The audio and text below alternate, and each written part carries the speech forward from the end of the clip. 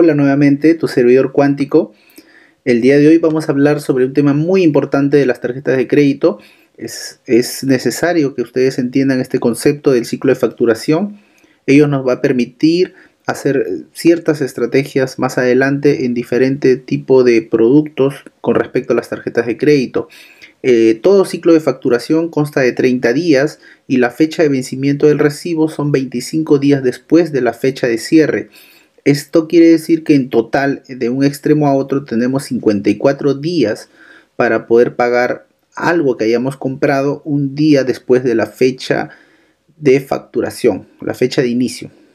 En esta gráfica, por ejemplo, para que el concepto quede claro, el 20 de noviembre inicia el ciclo, el día 21 compramos un zapato de 100 dólares, el ciclo cierra el 20 de diciembre, o sea, de 20 a 20 hay 30 días, y el recibo recién vendría a pagarse el 14 de enero.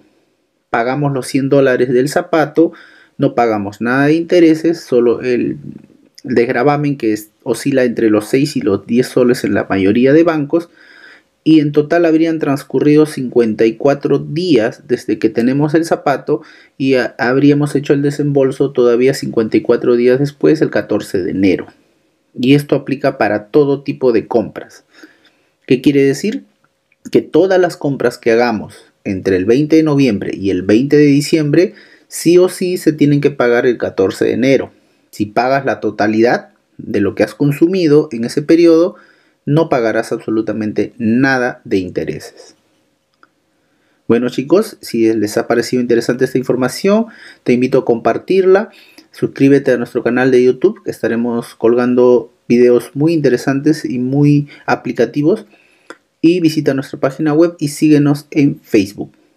Hasta una nueva oportunidad, tu servidor cuántico.